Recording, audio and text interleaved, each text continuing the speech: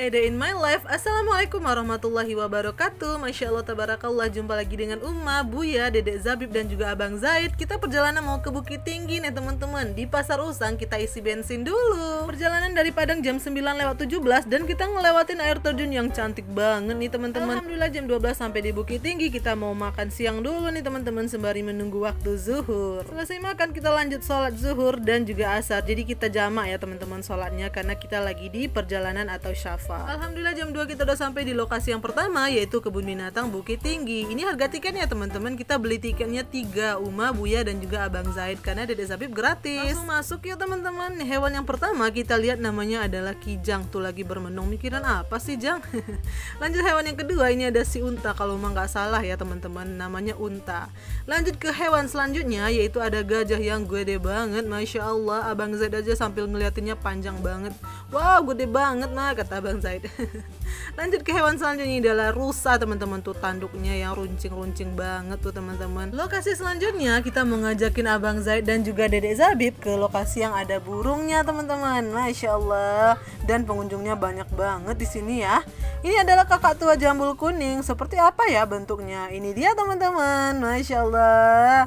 Ih cantik banget ya Tapi sayang nih bulunya udah ada yang mengelupas gitu teman-teman Lanjut ini adalah burung yang kecil-kecilnya teman-teman. Kita masuk ke area ini yuk satu arah atau one way katanya ya. Apa aja ya di dalamnya? Umat terkesima banget nih sama tirainya cantik banget. Ini ada merah kuning dan ternyata itu dari rantai besi gitu teman-teman. Nah ini dia Tara Masya Allah rame banget ternyata di dalam ya Di luar kelihatan sepi aja ternyata rame ya Nah ini adalah sejenis burung ya teman-teman. Jadi di sini itu lokasinya itu adalah lokasi yang ada jenis-jenis burungnya. Tapi Uma nggak ngeliatin semuanya ya teman-teman. Nah ini adalah burung apa nih? Namanya bulunya cantik banget. Ini bulunya biru ya sama hijau juga. Terus dia lagi makan apa tuh? Tuh dia bisa loncat. Liatin ya teman-teman. Nah keren banget. Nah ini lokasinya adem banget teman-teman. Ada ini air terjun dikit-dikit gitu ya. Apa sih namanya ya? Nah ini dia. Uh sejuk banget ya teman-teman ya Lanjut ke tirai selanjutnya. Kita main di tirai-tirai gitu ya. Di sini ada apa aja ya, teman-teman? Masya Allah, cantik banget ya kamu. Ini apa ya nama burungnya, teman-teman? Tuh dia lagi pamerin bulunya yang lagi kembang dan cantik banget warnanya. Masya Allah, ciptaan Allah benar-benar luar biasa ya.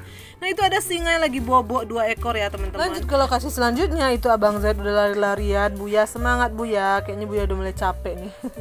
nah, lanjut ya. Ini dia adalah buaya teman-teman gede banget ya buayanya buayanya buaya darat ya karena hidupnya di darat. Nah ini adalah ular yang gede juga teman-teman. Dan selanjutnya adalah si harimau. Masya Allah kamu kucing besar gede banget. Gak takut kali ya kita ngeliat ini dari luar. Untung ada itu ya ada kaca gede kaca yang lumayan tebal Nah ini dia lagi duduk teman-teman. Masya Allah lagi capek kayaknya nih ya si harimaunya. Lanjut kita ke lokasi selanjutnya. Yuk teman-teman di sini ada si kancil yang lagi makan. Masya Allah imut banget tuh si kancil ya. Eh beneran kancil gak sih namanya?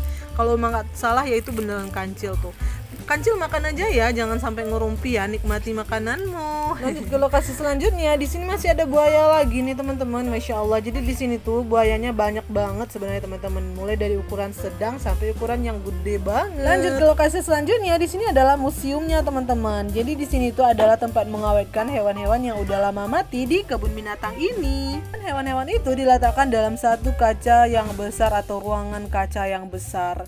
Tuh jenis hewannya banyak banget teman-teman, ada hari harimau, singa, terus ini apa lagi nih. Tapi kita nggak bisa megangnya teman-teman karena dia diletakkan di dalam kaca gitu. Dan ini dia adalah kabau padati teman-teman. Kalau dalam Minang itu kan Minang kabau ya, makanya di sini ada diletakkan sejarah-sejarah Minang juga. Terus juga ada di sini rumah-rumah adat juga ya teman-teman.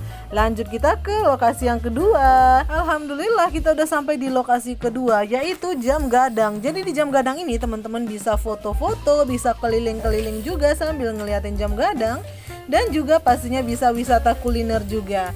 Nah, sampai di sini dulu video Uma ya teman-teman. Terima kasih yang udah ngikutin. Sampai jumpa lagi di video selanjutnya insya Allah. Wassalamualaikum warahmatullahi wabarakatuh. Ayo teman-teman dari luar liburannya ke Sumatera Barat ya.